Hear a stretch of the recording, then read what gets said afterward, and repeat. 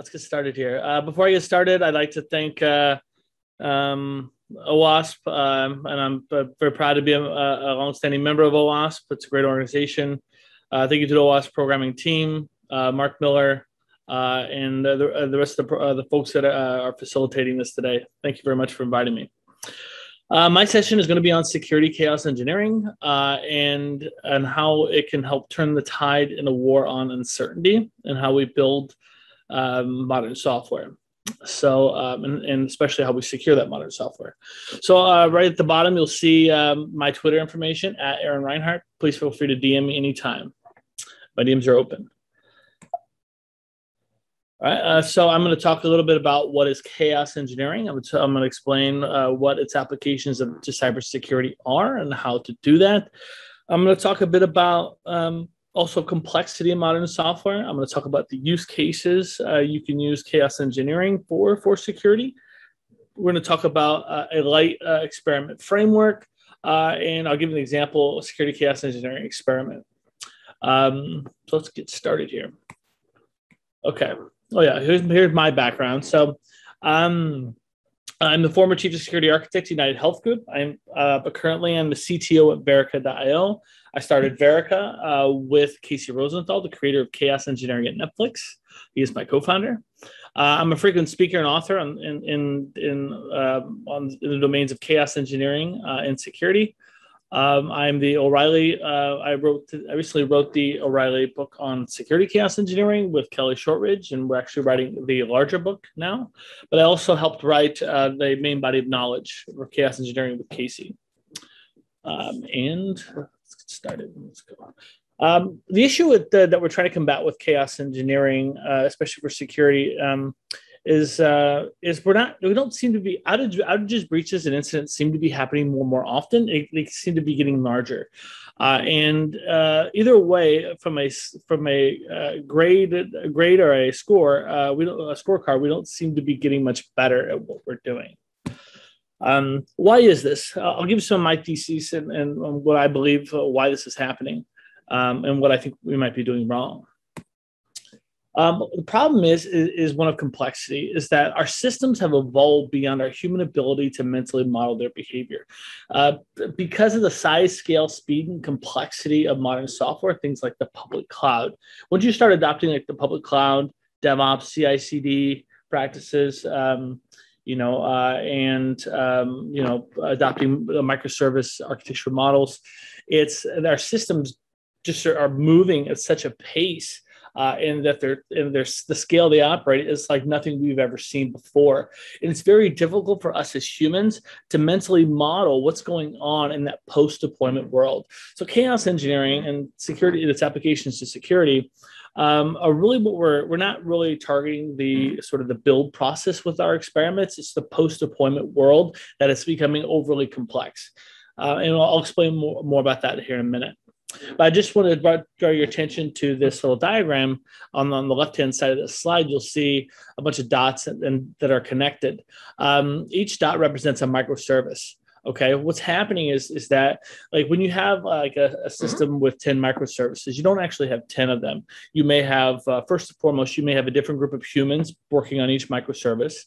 Uh, you probably have at least three or four microservices uh, uh, uh, three of each micro, three or four of each microservice running for throughput reasons.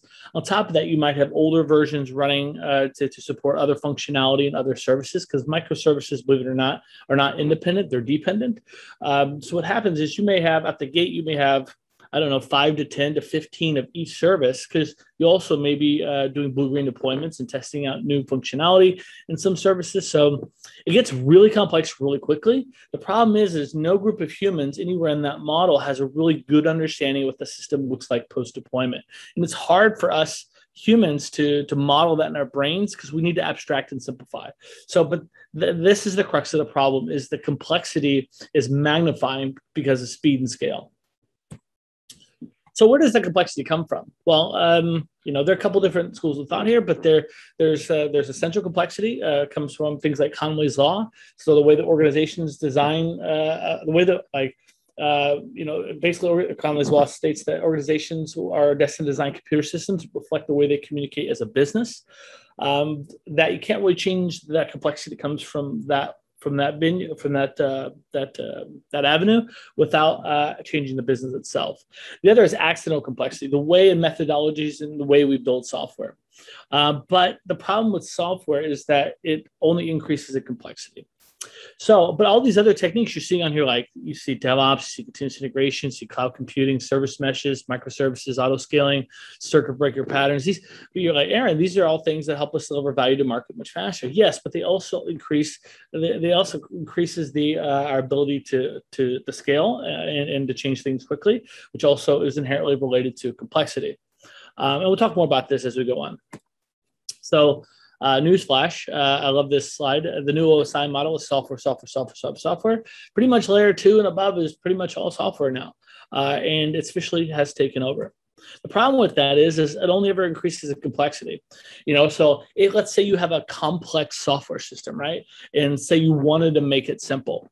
Well, there's a relationship between changing something and um, you know, uh, and, and making it more complex. The more you change, the more more more complexity you add. Uh, and um, you know, if you wanted to make a complex system simple, you have to change it to do that, right? So you're just really you're not actually simplifying; you're just moving complexity around. So chaos engineering, what we're, we're going to talk about is it's about navigating the complexity. It's not about trying to simplify it.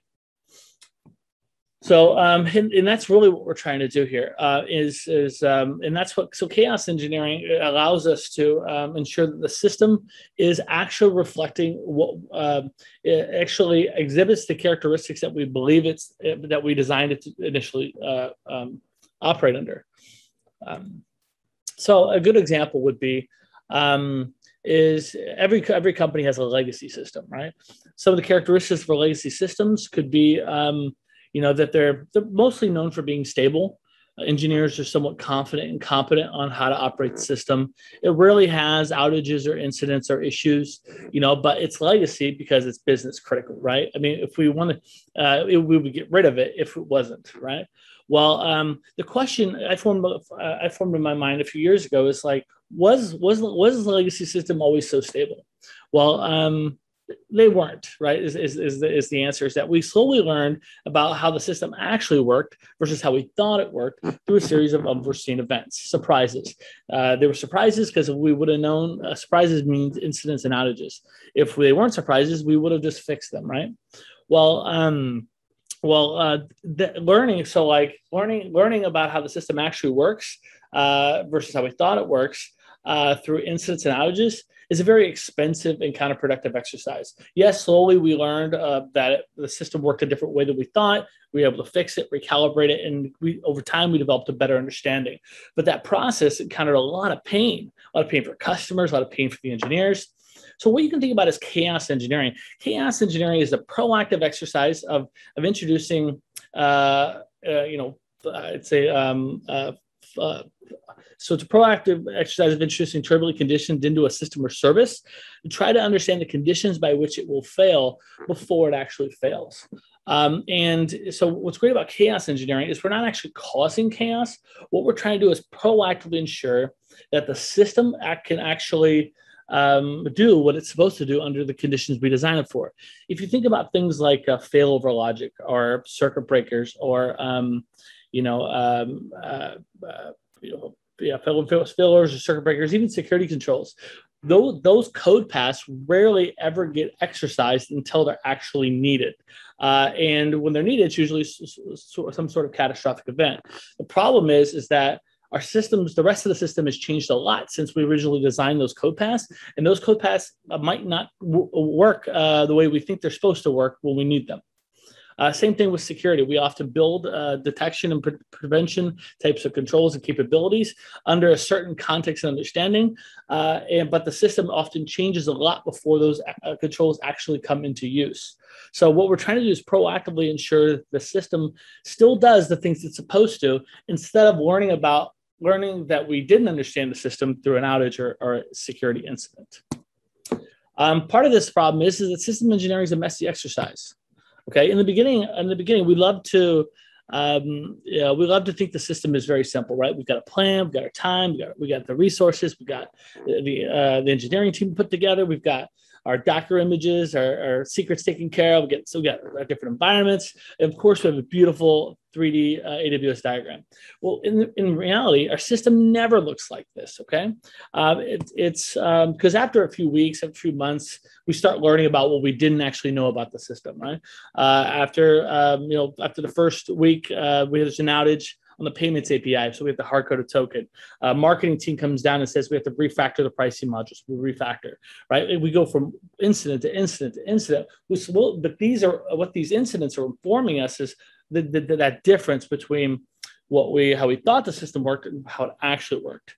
Uh, and then over time, uh, it, it, just continues to magnify. And our system, what they call, what Sidney Dekker calls this, he's one of the world's experts in, in complex systems uh, in terms of safety engineering. He likes to call this the drift into failure, the drift into the unknown in a complex system. So, in the end, the summary is, is that our systems have become more complex and messy than we originally remember them being. All right, so what does all this have to do with security? I'm getting there. I'm getting there.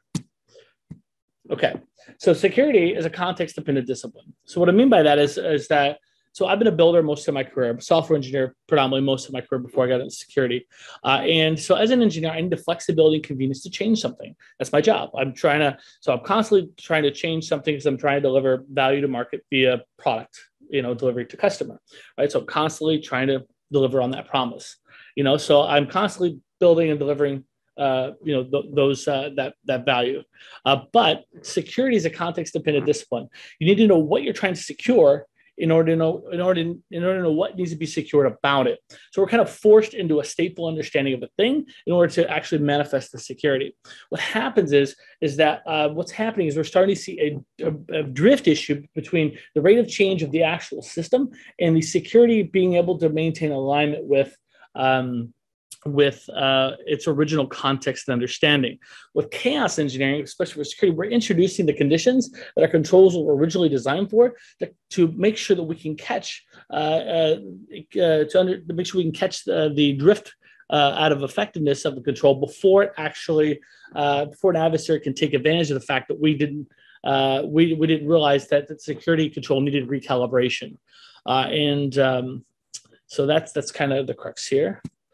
Um, chaos engineering. Uh, so in terms of like instrumentation for software, uh, Casey and I like to sort of um, uh, refer to uh, break break them down in sort of two domains. There's testing and there's experimentation. Experimentation. So testing is the verification or validation of something you already know to be true or false. You know what you're looking for before you go looking for it. In our world, that's like a CVE, that's an attack pattern, that's a signature, things like that. Where experimentation, we're trying to derive new information that we previously did not know. And uh, this is where chaos engineering fits in. We're not trying to uh, do a simple uh, test. What we're trying to do is uh, experiment and I'm trying to generate new context understanding about how the system uh, is operating post deployment.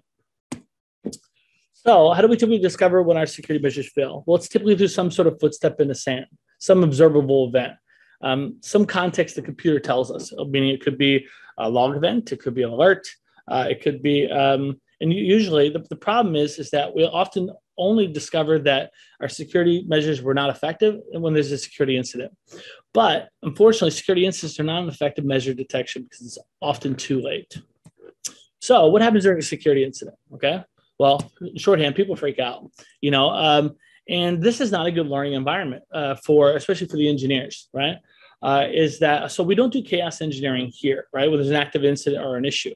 Um, we do chaos engineering when there is no problem to proactively understand so we don't in, so we don't end up in this situation we do it here right? We proactively try to build an understanding um, uh, about uh, whether or not the security still does what it's supposed to do before uh, before we run into situations where we're freaking out. It'll make more sense when i go through a couple examples. Uh, so chaos engineering so the Netflix definition of chaos engineering was the discipline of experimentation on distributed systems or to build confidence in a system's ability to withstand turbulent conditions. Or like I said before, it's the practice of proactively introducing uh, failure conditions or faults into a system or service to try to understand the conditions by which the system or service will fail before it actually fails. Instead of chasing outages, we're proactively just ensuring the system does what it was originally designed to do. Um, so chaos engineering, very important. It's not about breaking things in production. It's not about breaking things. Don't don't don't don't uh, go go back to your job uh, work and say you want to do chaos engineering to break stuff. I'm pretty sure you get fired. So it's about proactively um, uh, uh, fixing things. We're trying to fix things, right? We're, we're an established order, not create chaos. So uh, there's several books on chaos engineering. I mentioned a couple of them earlier. Uh, actually, there'll be links to download them. I highly recommend you, you download them both now if you're watching this, because I'm not sure. I think one of uh, both of these I think will expire soon on the free download. You can only sponsor the book forever. You can't sponsor it forever. So I highly recommend you go get that book. Uh, the links will be at the end. So um, security chaos engineering. Well, newsflash, it's not a whole lot different than chaos engineering. Um, and so, as so, one before I uh, sort of explain security chaos engineering, I want to remind um, uh, uh, everyone of how I see software engineering is that engineers don't believe. well, we don't believe in two things. We don't believe in hope and luck. I mean, we believe in good instrumentation, data, and feedback loops. That's that's our that's what we believe in. I mean, hope and luck it worked in Star Wars, but doesn't really work in engineering. Okay, what we're trying to establish with security chaos engineering is understand, excuse me, where our security gaps and needs for recalibration are before an adversary can take advantage of them. So, um, a use case um, uh, that I like to talk about uh, in, for security chaos engineering will be incident response. Uh, I'm going to cover a few other use cases as well, uh, but um, the main problem with incident response itself is that it's a response. So, um, before I do that, I'm just going to explain a couple of the use cases you can use it for. Uh, you can use, uh, uh, oh, by the way, all of these use cases are well documented in this book, and they're going to be expanded on the larger book. Uh, so um, you can you can dive into the detail later if you would like. Um, uh, where I started with chaos engineering for security would be uh, security control validation. Uh, I was trying, as the chief security architect, I wanted to ensure that post deployment, uh, the security mechanisms and, and, controls and things like that were actually being implemented correctly. I mean, because configuration matters, how it's configured, how it's placed, how many of them, where they are, you know, uh, and uh, there's too much subjective process in assessment between me and the computer. I need to ask the computer a question, and instrumentation is a great way to do that. So I created a new methodology uh, with uh, and a new open source tool that actually uh, allowed me to do that. I'll explain that in a minute. Um, another great uh, use case is security observability. Uh, one the, it's one of the biggest problems in software security, in my opinion. Um, is that uh, it helps you uh, because you're proactively introducing uh, conditions uh, if, that should security control should fire on. You actually um, you can get a better understanding of how uh, of what did the log data make sense that you got from the control? Did like if this were a real incident, do we have enough log information to correlate alerts? Did it correlate an alert? Did uh, we understand what the alerts uh, or did the uh, SOC analyst uh, understand the alerts and what to do with it? Uh, another great uh, use case for is compliance. Um, is compliance. Every chaos experiment, whether it's availability or stability based or security based, has compliance value. So don't make sure you just keep the output in a high integrity way uh, and label it with the right control framework. So back to incident response. So uh, the problem with incident response is the response, and security incidents are, are somewhat subjective. No matter how, how, much money you spend, how, how, many people you have in security, you know, um, but you still don't know a lot of things. You don't know where it's going to happen, why it's happening, who's trying to uh, who's trying to get in, uh, how they're going to get in, and what they're trying to achieve. Right. Um, but what, what's it, what's great about chaos engineering is we're proactively introducing the conditions ourselves. We, it's managed, right? We're introducing um, a misconfiguration of some kind, and we can watch it because now we're not waiting for something to happen and try to figure out do we, uh, you know, uh, if we are prepared or not. Because you know, like that's um, that's a very subjective way of doing it. What we're doing is introducing a objective signal into the system and watching it. So, you know, we can when we start doing introducing these experiments, we can now because we know the point it started, right? So we can look to see whether the technology was effective at doing what it's supposed to do. We can uh, we can uh, manage and measure things like uh, did the were the runbooks correct? Did we have enough people on call? Did they know what to do? Uh, did we follow the process correctly? Um, and uh, um, that, that could be a great and highly valuable feedback for uh, sharpening the incident response process. So ChaoSlingr. Chaos Slinger was the first ever application of Netflix's Chaos Engineering to cybersecurity. It is now a deprecated tool out there on GitHub, uh, but um, there uh, it represents a framework on actually how to write security chaos experiments through a series of Python-based lambdas. Uh, and it's fairly easy to understand uh, the framework uh, if you check it out. It's also documented in the O'Reilly report. So uh, the main example when we open source ChaoSlingr uh, was a um, we, we wrote several experiments for ChaoSlingr, but the uh, one of the main example we needed an example that a lot of whether you're a software engineer, a network engineer, a systems engineer, uh, an executive that you could understand what we're trying to do uh, and the value we're trying to achieve. And for some odd reason, misconfigured or, or unauthorized port changes still, still happen a lot, uh, um, a lot of the time, even in the cloud. So um, what we did was United Health Group. When I was there, we were the, we were very new to, the, to AWS, and and what we um, what we started doing is is um, so our um, the assumption is is that when we introduce a misconfigured or unauthorized port change into our AWS instances, we expected the firewall to immediately kind of detect and block that kind of activity and be a non-issue. So what we did was is that we would um, pseudo randomly select a through a series of AWS tags. You can see how this works on the repo for ChaoSlingr on GitHub, but it'll select a series of tags to be opt in or opt out. Uh, if it's opted in, that means it's you. We're able to actually do the experiment on that instance. Uh, but we would open or close a port that wasn't already open or closed. What we're trying to do uh, is, um, you know, is sort of trigger to make make sure that the firewall actually was detecting uh, um, and preventing what we thought it was supposed to prevent and detect. What actually happened was that only worked about 60% of the time. Uh, is that what we learned was actually there was a configuration drift issue between how our non-commercial and our commercial software AWS environments. Easy. Remember, there was no incident, there was no war room, there was no uh, nobody's freaking out. Uh, we proactively realized we had a drift issue. We were able to fix it, right? So the second thing we learned was is the cloud native configuration management tool caught caught the change and bought it every time. So something we're barely paying for, didn't even, we didn't even expect this to happen, uh, caught it and bought it every time. So that was very interesting to learn that.